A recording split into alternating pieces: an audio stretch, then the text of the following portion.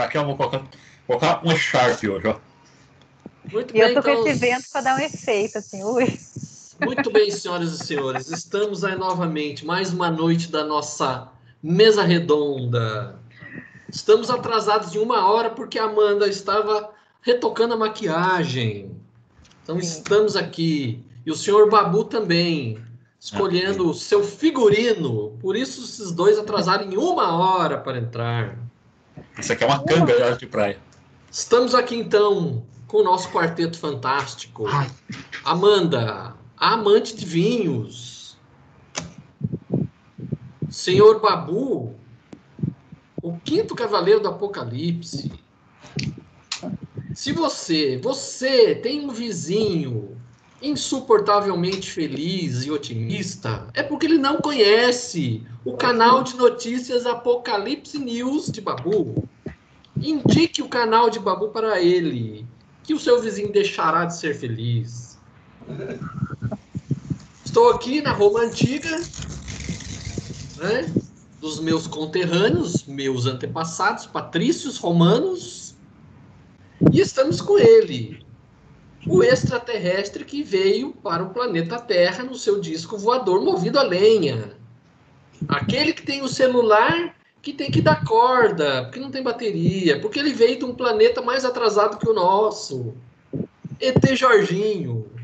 ET Jorginho. Então vamos lá, senhoras e senhores. Ninguém vai fazer a pergunta, que, que pergunta nós estamos hoje? Capítulo Babu, 6. você, ó, Babu, você tá com cara de. Ó, ó, Claudinho, olha pro Babu, Amanda. E só não falta aquele rabinho aqui para dizer que o cara é o Hare Krishna. É mesmo. O nosso, o nosso monge Hare Krishna, cara. Olha que maravilha. Ele Só é. nós. Tá igualzinho, tá igualzinho. Ó, ó, Caramba, olha. Então é capítulo 5, vou ficar né? aqui, ó. Lembra aquele pessoal que ficava vendendo antigamente no, no semáforo? Meu Deus do céu. É só nós mesmo, viu?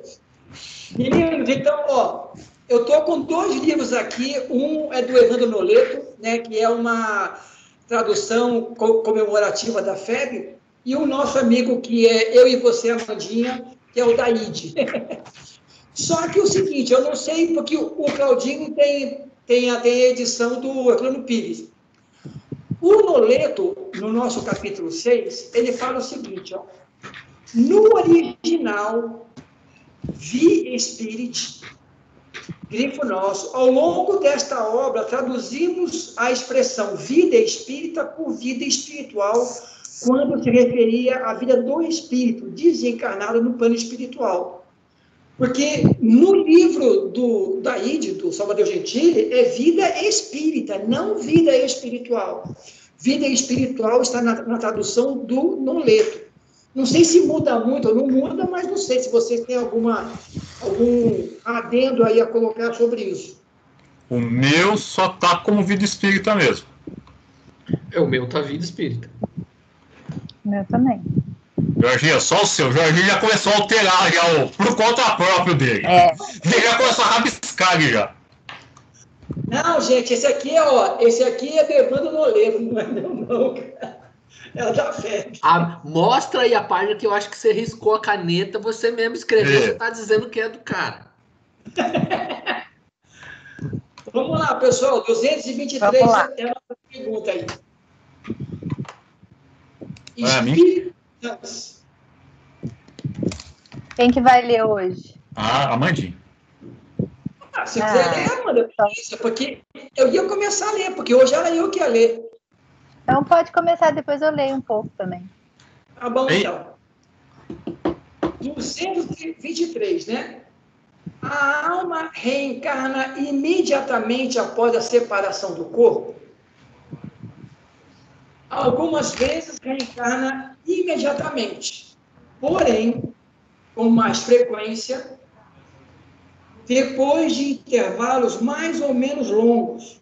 Nos mundos superiores, a reencarnação é quase sempre imediata. A matéria corporal sendo menos grosseira, o espírito encarnado goza aí de quase todas as suas faculdades de espírito. Seu estado normal é dos vossos sonâmbulos lúcidos.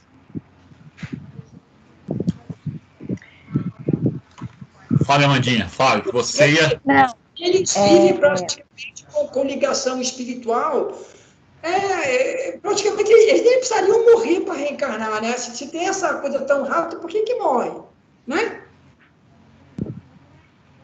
Então, eu pensava que espírito, assim, muito inferior que reencarnava rápido, assim, rapidamente, mas não tem nada, não tem ligação nisso, né? Não, É, não- eu- essa noção de, de quanto mais, digamos assim, de quanto mais primário, não é espírito Isso. ruim, mais primário, tipo assim, indígena, você lá no tempo das cavernas, porque o plano espiritual não tinha muito o que dar para esse espírito, a matéria sim. Mas aqui ele coloca o seguinte, que às vezes sim, às vezes não, de acordo com a necessidade. E que no mundo superiores, no finais das reencarnações, assim, em mundo corporal, essa reencarnação é quase imediata, né? 224. Que se torna a alma nos intervalos das encarnações? Espírito errante, que aspira a seu novo destino. Ele espera. Ou seja, ele tem aquela intervidas que a gente chama na- atualmente, né? Ele fica como um espírito não errático. E aí, desde que ele já, a partir do momento que a gente já desencarna, a gente já começa a preparar o nosso novo destino, vamos dizer assim, a nossa plano reencarnatório. Se não ficar perdida no umbral ali dando trabalho, praticamente sim, né? Ah, tá. Se passar reto, né? Se passar reto, O Hare Krishna já chegou, puf, a mandinha cheia de esperança, ele já, pô, você está fazendo da mandinha, você fica de longa, pô, não tá falando nada. Passando reto. É que normalmente agora, tipo assim, o espírito já tem um pouco mais de lucidez, ele não quer perder tempo, que nem os espíritos já trouxeram na obra. Quando ele chegando lá, ele consegue visualizar onde que ele está e o que falta para ser feliz. Então ele quer dar uma, uma apressada nisso aí. Então ele já começa a se preparar para essa reencarnação. Ok. 224A. Qual pode ser a duração desses intervalos? Desde algumas horas até alguns milhares de séculos. Aliás, não há, propriamente falando, um limite extremo estabelecido para o estado errante, que pode prolongar-se por muito tempo, mas que nunca é perpétuo. Cedo ou tarde, o espírito encontra sempre oportunidade de recomeçar uma existência que sirva à purificação de suas existências anteriores.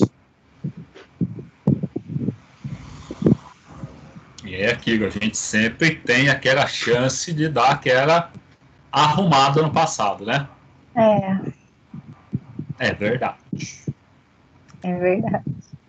Ô, e Jor- Jorge, pior que não dá pra ver, mas eu acendi um incenso no quarto aqui antes de começar a reunião. Tô muito feliz. Gente do céu, isso aqui que aconteceu? Está tendo um déjà vu da sua reencarnação como Buda lá na Índia, entendeu? Rio Grande. Não é verdade, Cláudio? Agora, percebam a contradição entre a reencarnação como monge budista ou indiano, indiano e como o detentor do caos. O cara bota, acende incenso e atrás dele aquela foto de um, de um desastre apocalíptico. Quer dizer, as duas faces, o yin e o yang se buscando equilíbrio aí, ó. Bom, se, se ele viveu lá nessa região antigamente, acho que ele não aprendeu muito a ter paciência, né? Então ele vai precisar voltar lá para ser mais paciente, porque os monges budistas, eles são super pacientes, super serenos, né? Que não é o, o caso do nosso amigo aí, né? Que é, ele não é muito assim paciente, né? Então, sei não. Ele não é? Parece. Só cara. Ele só tem cara de pessoa paciente.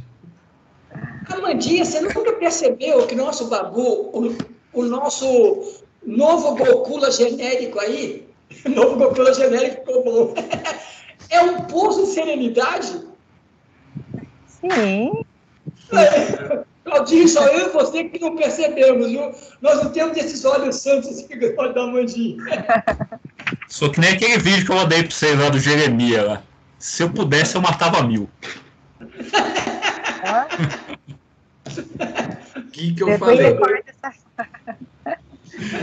Por isso que ele é o Nova Gokula genérico, entendeu? É só a base do remédio. Gente, 224b. Essa duração está subordinada à vontade do Espírito, ou lhe pode ser imposta como expiação? É uma consequência do livre-arbítrio. Os espíritos sabem perfeitamente o que fazem, mas para alguns é também uma punição imposta por Deus. Outros pedem que ela se prolongue a fim de continuar estudos que só podem ser efetuados com proveito na condição de espírito livre. O meu só tem uma, um pequeno adendo, porque eu vou ler só o comecinho aqui, ó. É uma consequência do livre-arbítrio. Os espíritos têm perfeita consciência do que fazem, mas para alguns é também uma punição que a providência lhe impõe. Aí tem o número 1, um, aí lá embaixo, escolha das provas, questões 258 e seguintes, 615 e especialmente a questão 963. Beleza, eu pego a 250 e você, Claudinho, qual que você pega aí? Não, vamos na 9, quem coloca especialmente 963. Vamos na 963 É para ver. só, né? É, não, ele fala, tem a, é que tem um capítulo só o de escolha das, das provas, mas aí ele fala da 963. É o, é, é o, é, Esse é o capítulo 2, penas e gozos futuros. Isso. Aí é que ele fala. De Deus nas penas e recompensas. Quem lê a pergunta? Eu vou ler primeiro.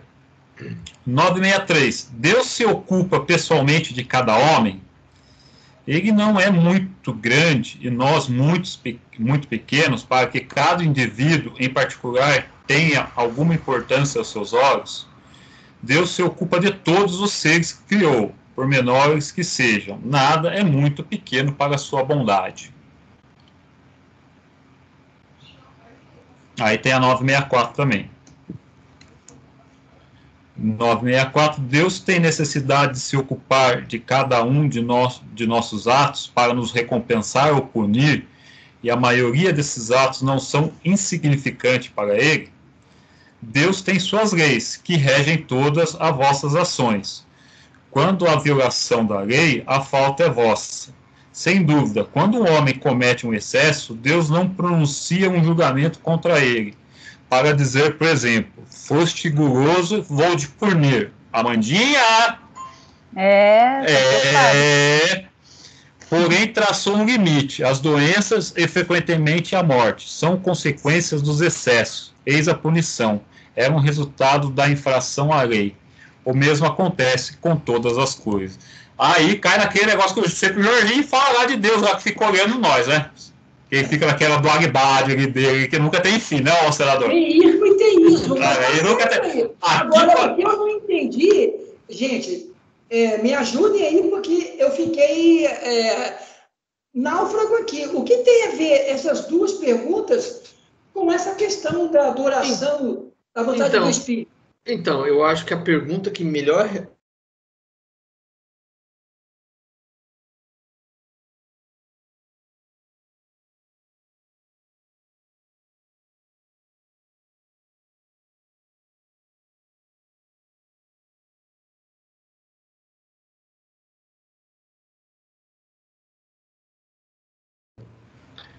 Ele mesmo escolhe o gênero de provas que deseja sofrer. Nisto consiste o seu livre-arbítrio. Aí vem a 258A que complementa. Não é Deus quem lhe impõe as tribulações da vida como castigo? Nada acontece sem a permissão de Deus, porque foi Ele quem estabeleceu todas as leis que regem o universo.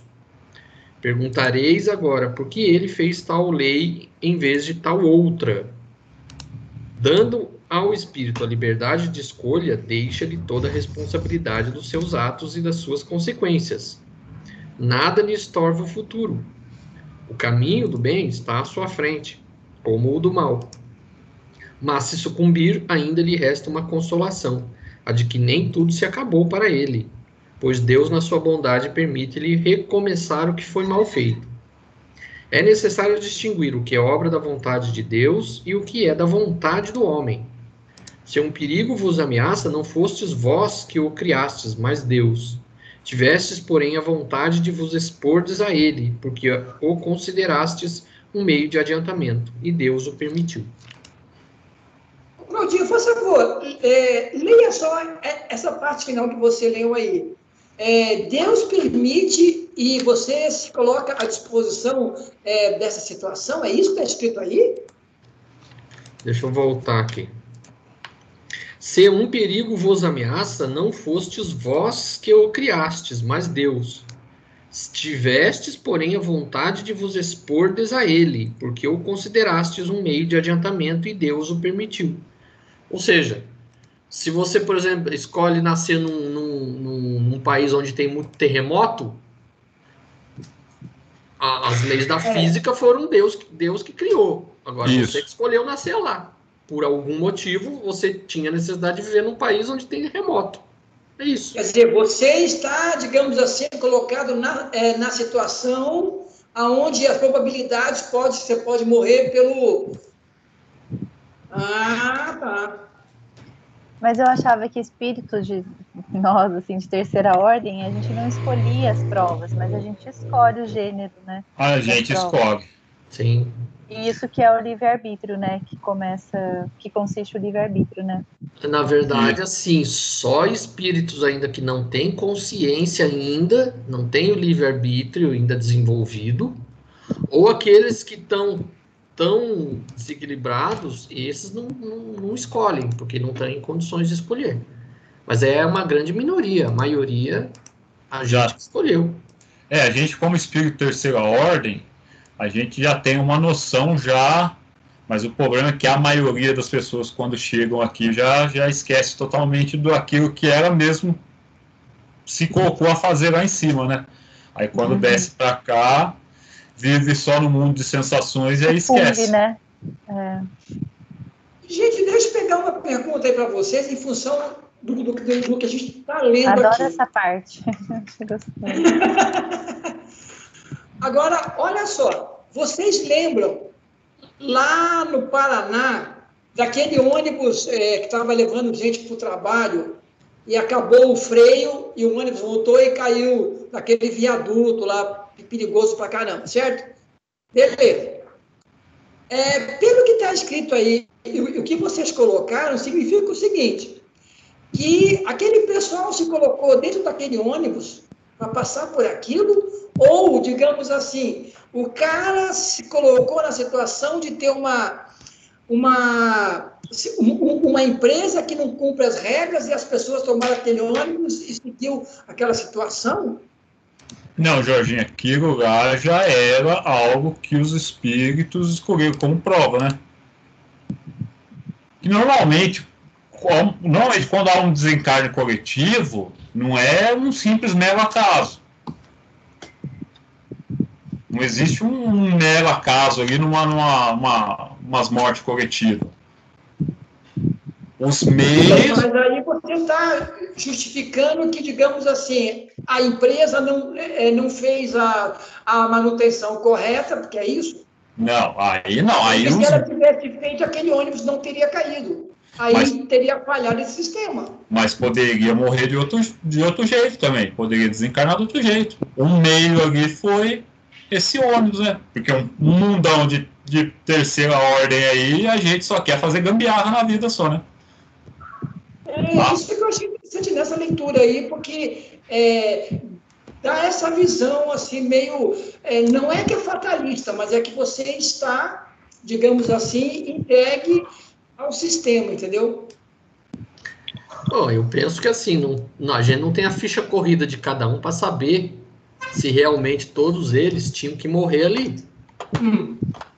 o fato da empresa não fazer a manutenção correta, isso não tem nada a ver com Deus. A imprevidência humana, isso não tem nada a ver com, com os desígnios de Deus. É imprevidência humana. Você entendeu? Agora, pode ser que a maioria que estivesse lá realmente tinha um, um, um compromisso de, uma, de, um, de uma morte coletiva devido a, a, coisas do passado e que coincidiu que naquele momento aconteceu o que tinha que acontecer. Agora. Era o que tinha para o momento, né? Uhum. Mas devido à imprevidência humana. Tudo dá. Que ali no meio também você poderia ter alguém que já, já viveu o que tinha que viver aqui e, e tinha que partir de algum jeito. Tipo assim, não era num. Um, resgatar algo, mas uma grande maioria que poderia estar resgatando alguma coisa. É porque, eu, por exemplo, eu posso estar andando com o meu carro totalmente sem manutenção nenhuma, pneu careca, né? Faz anos que eu não faço manutenção, não troco nada. Aí acontece um acidente, eu morro. Ah, meu Deus, foi uma coisa assim de Deus. Não foi de Deus, não. foi fui eu que não fiz Você a manutenção. Sua parte. Agora, se eu tô ali com o carro novinho, tá tudo certinho, de repente um defeito no pneu, estoura o carro, capota, eu morro, aí não tem nada a ver. Aí realmente foi é. alguma coisa que tinha que acontecer porque eu tinha que desencarnar no acidente. Viu, Mandinha? Colocar óleo no carro, não deixar o motor fundir no meio da ducha. Agora, agora eu tô fazendo isso. Coloca, coloca água no radiador. radiador. Fundiu o seu motor, Amandinha? Não, esquentou, eu esquecia de colocar água no radiador. Eu só usava o carro e abastecia. Jesus! Mas agora eu tô, já agora eu tô mais ah. cautelosa seja mais antiga que nem eu. Leia o manual do carro. Ele, ele vem junto. Dá uma lidinha é. no manual. Vamos lá, gente. Ai, ai. Vamos lá. 225. 225. Isso. A erraticidade é, por si só, um sinal de inferioridade dos espíritos? Não, pois há espíritos errantes de todos os graus, a reencarnação é um estado transitório de algum Em ser um estado normal, o espírito é livre da matéria. Cara, eu adoro essa parte aqui. Que, na verdade, é, não é que é uma coisa anômala a nós, mas a nossa vida é espiritual. Estar encarnado aqui é hiperprovisório. É. Agora, ter essa condição de entender, de não sofrer é, com a desencarnação de parente, é, sofrer com a situação do mundo, é, é outra questão emocional. Mas se nós tivéssemos, digamos assim, um, um equilíbrio emocional para entender que, na verdade, a nossa vida é espírito livre, talvez, talvez existíssemos melhor do, aqui na Terra, cara. Porque a gente se apega a essa terrinha aqui, a esse Nossa corpinho. Nossa senhora, e como? Rapaz, eu só espero que lá tenha chuveiro elétrico para ter água quente para tomar banho, viu? É, que... eu também não gosto de água fria, não. É, eu vou sentir falta. Vai tudo ficar no umbral esse pessoal aí, ó. Não vai passar por aqui, ó. Não vai passar água fria não é comigo. Pode e eu já falei para você. 50 graus. Eu já falei, eu quero fazer o que tem que fazer aqui e droga. É, calma, calma. Não tem água quente? Pô, já imaginou? Ah, tristeza, nossa senhora. Ô, Claudinho, a gente estamos fazendo a nossa parte tentando ajudar esses dois, mas vou chegar. É eu vou chegar com consciência limpa lá. Falei assim, ó, tentei. Você vai resgatar a gente no umbral, Babu. Admissão. Infelizmente. só lembrando, só lembrando que lá na Escócia a temperatura temperatura média na maior parte do ano é frio. É frio, tá? é. Aquele tempo fechado. Fechado. 226. Pode-se dizer que são errantes todos os espíritos que não estão encarnados? Os que devem reencarnar, sim, mas os espíritos puros, os que atingiram a perfeição, não são errantes seu estado é definitivo. Aqui tem um, é, tem um, um adendo do Kardec. Tem. No tocante às qualidades íntimas, os espíritos são de diferentes ordens ou graus, pelos quais vão passando sucessivamente à medida que se purificam. Com relação ao estado em que se acham, podem ser encarnados, isto é, ligados a um corpo, errantes, isto é, desligados do corpo material e aguardando nova encarnação para se melhorarem e espíritos puros, isto é, perfeitos, não precisando de mais encarnação. A Mandinha vai demorar para nós dois chegarmos a esse ponto de não precisar mais da encarnação, enfim. Então, vai. vamos finalizando. O Jorginho, o Jorginho acha que a, quando o sol acabar, ele vai estar aqui na Terra ainda. ah, cara! Ó, e a Mandinha, se nós encarnarmos em planeta Daqui primitivo... quantos bilhões de anos? Ah. Lembre de uma coisa: nós vamos criar uma banheira de pedra e fazer fogo para manter a água sempre aquecida, certo? Sim. Não esquece disso Vamos. nunca. Combinado. Isso, É, banho frio, isso se o senhor Sim, reencarnar num planeta adiantado, né? Porque o senhor pode ir para um planeta atrasado na idade da pedra que nem inventaram o fogo ainda. Então o senhor vai ter que tomar banho frio. Tá? Nossa, Cara! gente, ó, Amandinha, se, você, se nós temos um de guarda desse, para que, que eu quero obsessor? é. Fala sério, ainda imagina mais obsessor ainda, Deus é mãe. Deus é pai, meu padrasto. 227. De que modo se instruem os espíritos errantes, já que certamente não o fazem da mesma maneira que nós? Estudam o seu passado e procuram meios de elevar-se. Vêm, observam o que se passa nos lugares que percorrem, ouvem o discurso dos homens esclarecidos e os conceitos dos espíritos mais elevados do que eles. Tudo isso lhes inspira ideias que não tinham antes. Essa parte é deliciosa. Imagina o que você. eu acho meio ruim é estudar o nosso passado, cara. Pô, aí você começa a falar, caraca, velho, eu queria esquecer essa parte. Essa parte, imagina você ali tendo Aí contato, você cai em si, né? Nossa. você tendo contato com Sócrates, com, com o pessoal das antigas aí. Os dois atoraram o pé na jaca ali, ó. Amandinho e Jorginho atoraram o pé na jaca ali com gosto, tá ligado? Babu, é, eu não sei que livro espírita que, que é. Ah, foi, me lembrei agora. É Getúlio Vargas é, no plano espiritual, uma coisa assim. E ele está com essa de Queiroz, né? Então falou que lá o cara senta com o seu tutor na hora de fazer uma- um estudo sobre si mesmo e tem uma telinha na frente dele, tipo uma tela de né, alta definição na parede, aonde, mesmo que você não queira pensar, ela joga o teu interior na, na tela. Aí, aí o cara começa a falar, ó, vamos ver aquela situação. Você- mesmo que você não queira ver, ela está exposta lá.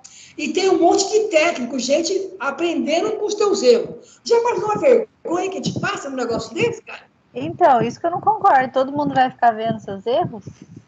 Nossa. Essa no declaração, telão essa você fez. Nossa, declaração, o negócio é feio, é preocupante. Essa declaração mostra É. que tem coisa muito errada aí ne- nesse passado. É pior que aquele pessoal de Brasília ali, ó. Tô vendo que é pior que aquele pessoal de Brasília ali, o negócio ali, ó. Nossa, alguma coisa, preciso correr alguma atrás do coisa prejuízo, hein? errada não tá certa aí nesse passado. Com certeza. A, a, Nossa. Amandia, esse negócio de você ser reprovado aqui por causa do caderno já, já é um começo pra lá de cima já, já é um toque pra É. você já. ó. Nota 2, né? Isso, vai ser lá em cima a mesma nota quando puxar o telão lá, ó. Que mais? Vai, ó, e o livro chama-se Getúlio Vargas, Vargas em Dois Mundos, chama esse livro. Falta de anotações na caderneta, viu? É, Vai isso aí precisar já vai anotar vai estar muito. Vai A presente. Mandinha é fogo, porque lá estava no livro diz isso. Que ele, Getúlio, né, desperto, o, o tutor espiritual, que é o Wesley de Queiroz, colaborando com ele, e todo mundo atrás que também vai aprender, ele também vai ver os erros dos outros. Mas naquele momento era ele que ia ter que mostrar é, como ele agia para que os outros também aprendam juntos. Você já imaginou? Eu mandava sair da sala, ó, todo mundo fora, cara.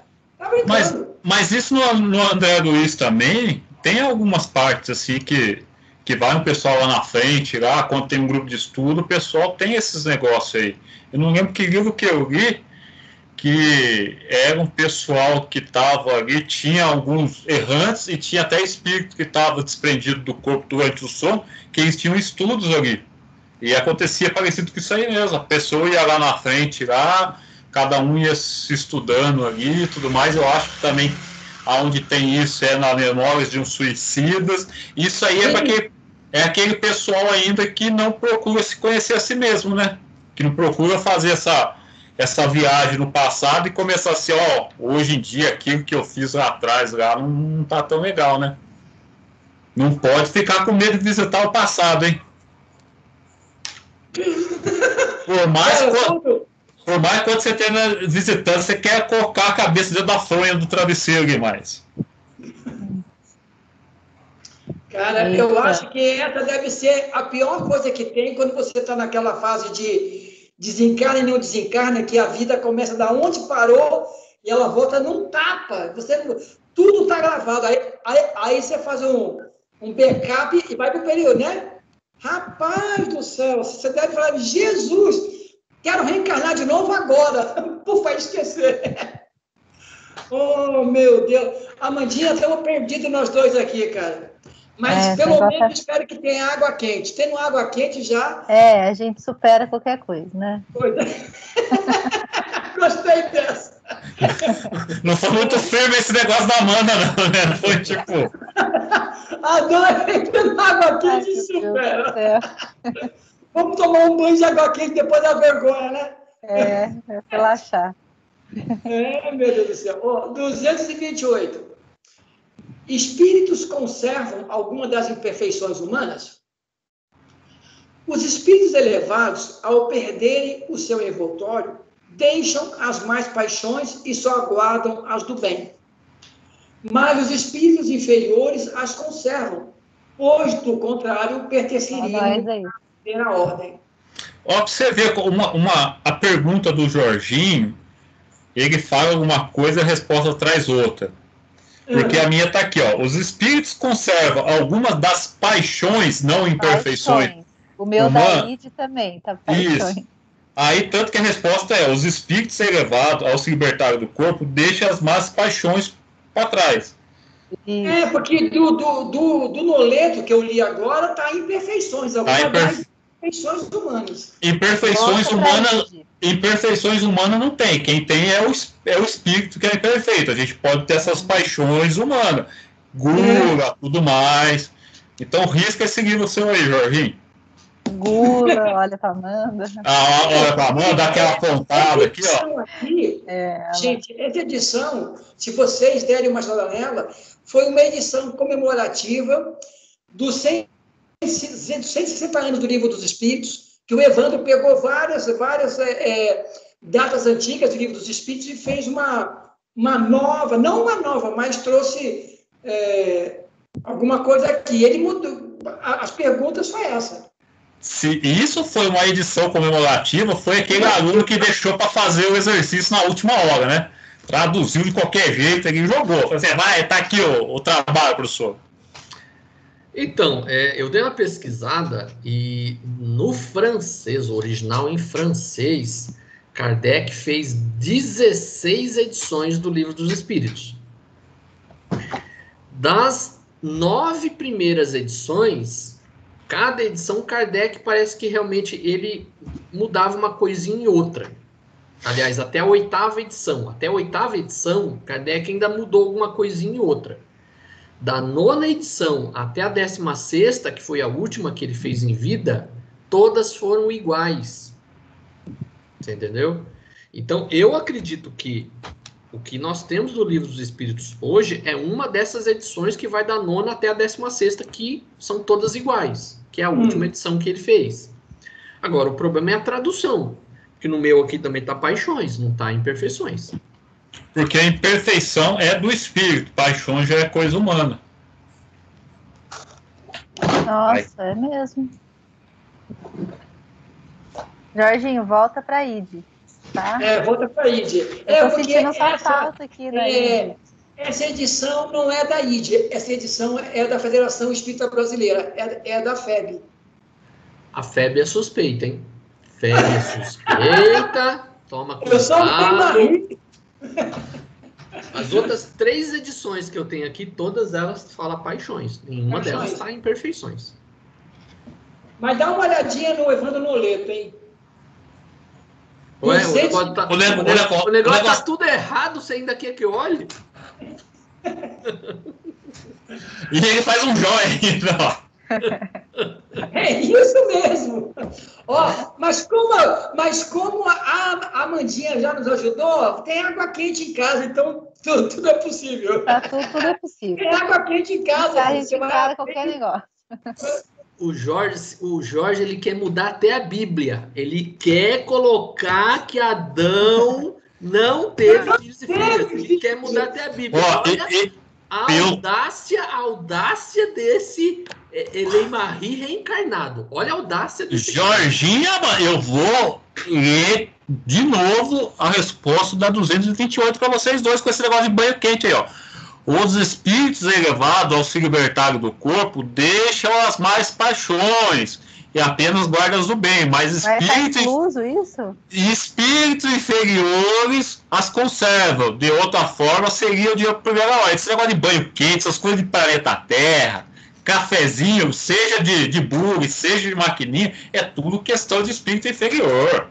Ah, Ano passado, nós já castigamos o Claudinho. Pode ser de bug ou de maquininha. A expressão do Claudinho. Com certeza de maquininha. Com certeza. Que lá é tudo evoluído. Ai, vamos lá, povão. Pergunta 229. Por que os espíritos, deixando a terra, não deixam aí todas as mais paixões, já que reconhecem seus inconvenientes? Tens nesse mundo pessoas que são excessivamente invejosas. Acreditas que, tão logo o deixem, perdem esse defeito? Após a partida da terra, sobretudo para os que tiveram paixões bem acentuadas, resta uma espécie de atmosfera que os envolve, fazendo que conservem todas essas coisas, mas, pois o espírito ainda não se acha inteiramente desprendido da matéria.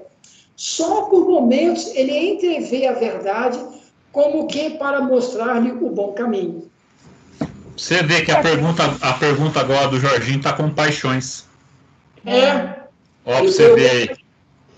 Mas é vale. aquilo, o espírito a gente vai desencarnar, a gente não vai mudar completamente, né? Que a gente desencarnou. É um processo, né? Isso é um processo. Ainda vai com os apegos, com querendo banho quente, né? Assim, demora para mudar um pouco. Né? Vai levar mesmo, isso aí não tem. É. Chegar lá é, é. desprendido da noite pro dia. É como, né? é como nós estamos estudando no livro Os Mensageiros, que lá ah, é, fala que lá fala que os homens, né, o, o ser humano, ele morre, ele não vira santo, ele não vira anjo, né? Ele é, morre, ele ele continua com a com, com assim, sua identidade igual era como estava encarnado, né? Eu até fiz uma piada falando, né, que é igual como as mulheres falam dos homens, que é tudo igual, só muda endereço. Exatamente. Ó, você, vocês, Amandinha, esse discurso seu aí, você tem que ler a carta 22 e 23 de Sêneca Luci, que ele é, fala para desde já tirar essas paixões, que a gente estamos aqui na Terra para trabalhar essas paixões, para a gente perder essas paixões. Agora, só uma pergunta, Babu. Você perguntou para o Sêneca Posso escolher se ele não mandava esquentar a água dele para ele tomar banho? E ele fala de negócio de pobreza aqui, de abrir mão, tem espírito de pobre, tem, tem uns negócios legais aqui. Quer dizer, então Ele é tomava banho frio. No caso. No caso, nós romanos, nós estamos bem na fita porque nós tínhamos as termas. Tá certo? Nós tínhamos banho quente, nós tínhamos banho quente, banho morno e banho frio. Para cada gosto, você escolhia qual tipo de banho você ia. Mas, ó, desde já começa já a tirar essas paixões aí. Começa a trabalhar essas paixões. Amandinha, vamos fazer então uma mentalização conjunta. Vamos a partir de amanhã, ao levantar, não mais aquecer a água. Desligar Ah. o chuveiro para começar a dispensar, a despojar as diminuir a quantidade de banho também, né? Para você ter ideia, ó, em 1990. Mas, E mil- Você viu, Babu, você ouviu essa da Amandinha? Repete aí agora. Não quer tomar banho, já. Economia o banho, economia Ó. da água. Ó, mas não é, não é isso. Ó, em 1995 o Senai era tempo integral. Você chegava às 7 horas da manhã e saía às 5 da tarde. E aí a gente tinha educação física também. No inverno, a educação física era as primeiras aulas. Você tinha que 7 horas já tá de short, regatinha na quadra, correr em torno do Senai. E depois só tinha banho frio, não tinha banho Nossa, quente. já tava O, ca- o, ca- o, os professores, fa- os professores falavam assim, ó, não pode ter banho quente para não ter choque térmico. A gente tomava banho num frio do cão, cara, que é água gelada. Mas é daí Nossa. que dá choque térmico, não é? Tá com corpo quente, banho frio. Não, mas você ficava fazendo os alongamentos para dar uma enfiada, mas você tomava só banho gelado no ah, só. tá. Tá pior, tá, tava pior então que Nossa. quartel, porque quando eu fui Eu no acabei de pensar, parece um quartel isso aí. quando eu Deus tava é mais. Quando eu tava na aeronáutica, a primeira vez que eu fui para tomar banho lá no, no alojamento, eu já tava esperando água fria. Quando eu vi, tinha chuveirinho assim, ó, quente. Falei, não se faz Ô, mais bênção. quartel, não se faz Ô, mais quartel glória. como antigamente. Tinha, tinha época que tava tão frio que aí tipo, tinha uns negócios de MT, que era a turma M, alguma coisa, e a turma T. Aí era diferente. Tipo, a turma M fazia a parte prática, mexer nas máquinas de manhã, e a turma T à tarde. A turma M, você chegava lá para trabalhar na oficina das máquinas, lá para você aprender a mexer, você, não, você tinha que estar só com o guarda-pó. Você tentava colocar a blusa ali, tipo assim, professor, pode tirar essa blusa, aí vocês estão com frio? Porque tinha a manga pegar nas máquinas, puxar. Ele tira essa blusa aí, bota só o guarda-pó, abria todas as portas, assim, que as portas, e aquela neblina descendo, assim, aquela serração indo aí, assim, só pra vocês perderem esse frio, vamos correr em volta do Senai aí. Meia hora correndo em volta do Senai ali, naquele friozão, e depois voltava pra. Agora, agora eu percebi, porque o cara aqui é o nosso Nova Gokula, tá vendo? É, Isso aí é budista. Já, cara, o cara tá em outro nível, Amandinha. Pô, Nossa. Olha, Nossa, Ficou muito é escancarado o nosso é o Buda que nós merecemos. com certeza, com certeza vocês não viveram na, na, na- naqueles tempos da, da Esparta antiga, porque o treinamento não tinha essa de aguinha quente, não. Não, cara. Só se a gente Ó. viveu e tá com trauma hoje. Só era jogado no meio da floresta e ó, se vira É. aí, ó. É, Claudinho, você viu aqui? Isso aí é, é trauma de encarnação, É trauma, a gente já passou por muita coisa, né, Jorginho? Verdade. Eu que digo, verdade. Agora, Amandinha, é tu que lê. Então vamos lá. 230. O espírito progride no estado errante? Pode melhorar-se muito, sempre segundo a sua vontade e o seu desejo, mas é na existência corporal que ele põe em prática as novas ideias que adquiriu. Foi a minha pergunta que você falou aquele dia, Babu. Foi lá, a gente, a gente tem a noção, a gente ganha bagagem, só que aí você precisa Isso. fazer a prova, né? A prova é só terrena por enquanto para nós. Mas Só aí assim, que né? tá, gente, olha, essa pergunta aqui no movimento espírita dá muita discussão. Nós temos um movimento, um grupo que diz o seguinte: o espírito não progride espiritualmente, só, só aqui na Terra. Tem outro que fala que ele progride no, no, nos dois lados, tanto no plano espiritual, aprendendo e trabalhando, e aqui estudando e aprendendo. E tem um grupo que fala que você e também cresce no plano espiritual. E eu sou do tipo que, eh, digamos assim, pode melhorar-se muito. Eu achei um pouco assim, meio do espírito, porque eu acho que quando você trabalha no bem lá no, lá no plano espiritual, você também está tá aprendendo, está tá, tá evoluindo. Mesma coisa que aqui. Eu acho que, para mim, espírito evolui tanto encarnado como desencarnado. Só que evolui, só que lá é, é, a parte, tipo assim, é a parte moral, é a parte da inteligência. Você adquire esses, essa, essa consciência melhor. Só que aí você precisa passar pela prova. Você precisa vir na Terra para, tipo assim, ter aquela intuição, tipo, que a gente não vai lembrar de tudo, né? Mas vai trazer alguma coisa forte intuição. Aí que vai prevalecer a nossa vontade em, em cima daquilo que a gente já aprendeu lá. Falei assim, não, isso aqui é errado, então é errado. Eu vou fazer certo mesmo porque eu tomo prejuízo. Só que aí, porque senão você só fica na parte intelectual e você não coloca na prática. Você precisa colocar na prática para ver se sua vontade está sendo maior que seus desejos. Fala, Claudinho. Então, eu acho que a melhor forma de comparar é na escola. Você vai, na, você, você vai, por exemplo, você faz uma faculdade de uma profissão qualquer. Aí depois não tem que passar pelo estágio para você conseguir o diploma.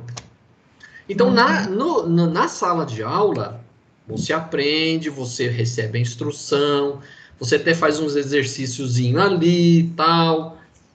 É o plano espiritual. Agora, quando você vai para o estágio, botar a mão na massa, trabalhar mesmo, para ver se você aprendeu né? Se você tá, né? Como que você vai aplicar na prática o que você aprendeu em sala de aula? É a encarnação. É, então você só vai. Legal, boa comparação. É bem. Então eu acho que assim é uma coisa complementa a outra. Uma é um ensino, você cresce, mas você precisa pôr, ah, vamos dizer assim, em prática aquilo que você está aprendendo no plano espiritual. Você entendeu? É porque aí, eu só vou entrar porque a gente, como é espírito terceira ordem, a gente tem que ter essa vontade de poder vencer essas, esses desejos carnais, né? Tanto que na erraticidade, depois, quando a gente se tornar espírito puro, a gente não vai precisar mais reencarnar. Mas mesmo assim, a gente já vai estar tá aprendendo ainda, a gente vai estar tá evoluindo lá em cima. Então, quando você chega no estado de espírito puro, você evolui, só que não precisa reencarnar mais. Você. Mas aí no começo, como a gente é espírito terceira ordem ainda, a gente precisa dessa, desse estágio na Terra para poder. É que a gente confunde uma hora os, os espíritos. Ah, mas. Sim, mas tem os espíritos puros, como a gente já sabe, evolui lá no plano espiritual, não precisa mais reencarnar. Mas a gente, como está no começo da caminhada, a gente precisa do intelectual, da teoria e da prática ainda. É, é, é, é, é, como se fosse uma hierarquia numa empresa, por exemplo. Nós, que é, é tudo espírito de terceira, terceira ordem, é peão chão de fábrica. É, Os espíritos evoluídos é lá da diretoria. Fica lá no escritório, só, só dando as ordens. É e, o, e o espírito perfeito é o CEO, é o cara que. okay. É isso aí. Boa, boa. É, boa. Só, só, queria fazer uma observaçãozinha. Vocês lembram que o, o, Paulo Figueiredo colocou no livro dele, lá, Revolução Espírita, que é, expiação era só no plano espiritual? Sim, aí eu mandei aqui a, a revista espírita que o Kardec falou que não. Então, na, nesse livro novo, não sei se o Jorge já chegou nessa parte, nesse livro Nem Céu Nem Inferno, ele mesmo se contradiz, porque aí lá ele reproduz o trecho da, da revista espírita que fala que expiação é aqui na Terra também. É aqui na Terra é. também. Então vamos lá. Amandinho, chora não, vai, continua, que, que é muita chubatada aí nas costas nossa aí. É, nossa, Pergunta 231. Os espíritos errantes são felizes ou infelizes? Mais ou menos de acordo com seus méritos.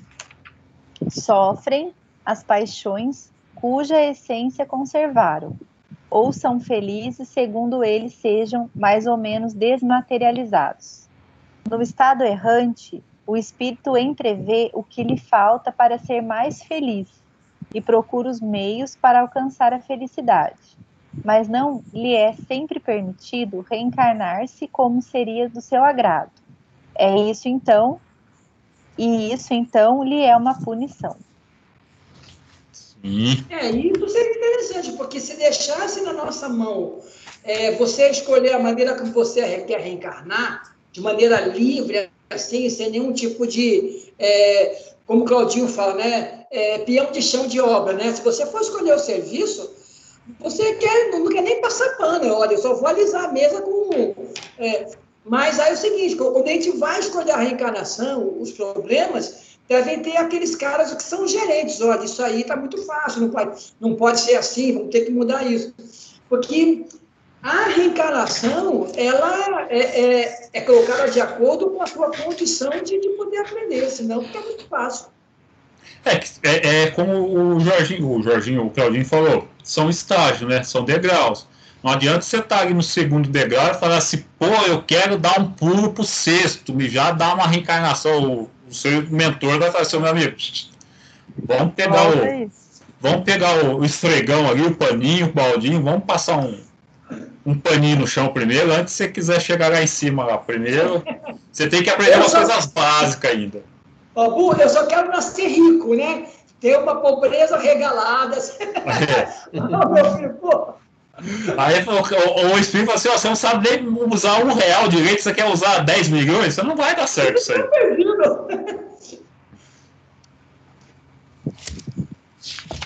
Mas não se preocupa não, Mandinho, ó, vai ter é, fogão de lenha, vai ter a bacia, vamos esquentar a água e colocar na, na, na bacia, vamos poder tomar banho de canequinha de água morna. Só que não pode demorar muito, porque esfria rápido. É, Esse é um banho de gato. Ó, é. bacia. Em que época da humanidade que teve uma bacia? Não foi na Idade das Pedras. Eu tô falando, eu tô falando que esse extraterrestre ele veio de planeta mais atrasado que o nosso. Ó. Quando é, vocês não tomavam banho de bacia, né? Pequenininho? Não, mas não é isso. É que o Jorginho ah, tá. O Jorginho tá querendo arrastar o celular para os primórdios lá. Ah. O Jorge, o Jorge ele, ele já tá prevendo que ele vai para um planeta mais atrasado, ele tá querendo arrastar a Amanda junto com ele. É. Isso, tá indo na ideia, Mandinho. Não embarca na ideia do Jorginho, não. Amanda, ó, Sofrimento entre amigos e amenizado. Vamos nessa, vamos junto. tamo junto, tamo junto. Jorginho, Jorginho foi político ruim nas outras encarnações aí, amigo. Ó. Jorginho é aquele negócio, vamos pular aí da ponte, vamos comigo, eu e você, vamos embora. tamo junto. Vamos lá. Pergunta 232. No estado errante, Podem os espíritos ir para todos os mundos? Aqui tá. Conforme. Quando depende. o espírito. É. A, melhor seria depende, né? Que tá uhum. conforme, ponto.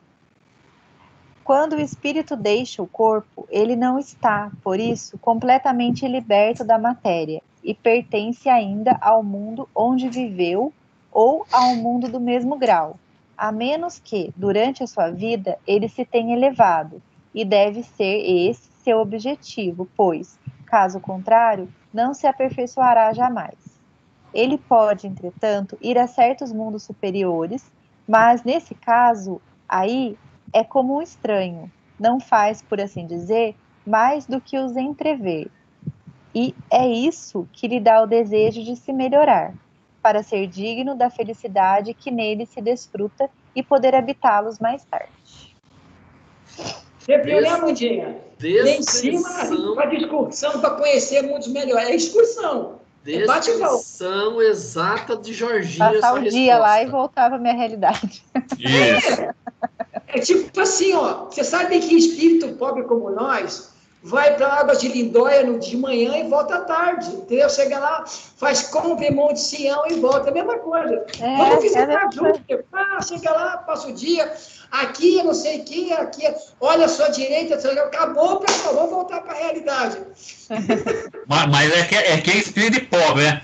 Não, aqui é bonito, vai lá para a Suíça um dia, ganha na Mega Sena. Mas não troco o Jacareí por nada nessa vida. Aí você vê que, tipo assim, o espírito tá enterrado mesmo lá. Tá, tá. Essa resposta é a descrição de Jorginho. Ai, Jesus, tão perdido, Amanda. Nós, mas ainda bem que tem água quente, Amanda. A gente vai fazer qualquer coisa. Tendo água quente, nós encara o resto. Pode ir? Pode ir. Pergunta 233. Os espíritos já purificados vão aos mundos inferiores? Eles vão frequentemente para ajudar o seu progresso. Sem isso, esses mundos estariam entregues a si mesmos, sem guias para dirigi-los. Graças a Deus ele vem aqui nos visitar. Você, graças a Deus. Graças a Deus. Senão, nós estávamos, ó. Tava no mato sem cachorro. Mas, ó, Andinha, nós temos o nosso nós temos o nosso Buda aqui, então fiquemos tranquilos que. Nossa. Ó. Com certeza. Ó. Cadê o Buda? Posição de yoga, ó. Sumiu Ah, o não Buda. dá pra ver você? Sumiu Agora. o Buda. Ah lá, É, sumiu. porque ele consegue, tipo assim, você percebeu como Ah, esse espírito é evoluído? Ele se transmuta, ele, ó, que coisa, cara.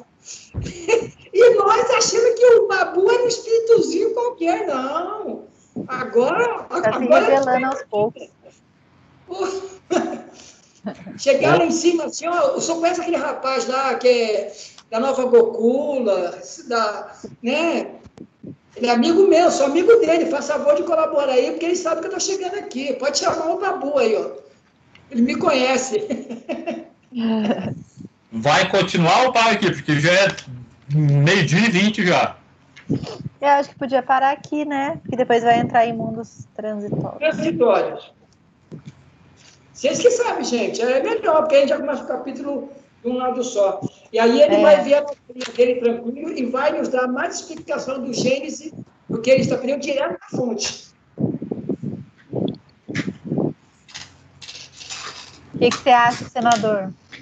Então paramos por aqui. Você vai falar para o cara que tá assistindo a Gênesis, ele vai tá gravando no, no É, ele vídeo cassete. vai sair logo e ver. Cara, nem falo no vídeo cassete, cara. Saudade do meu. Tá lá na. é, nós temos aqui em Jacareí um cara que ainda arruma televisão, de tubo, né? A minha televisão lá e o meu vídeo, para saber se consegue fazer um, um transplante, cara.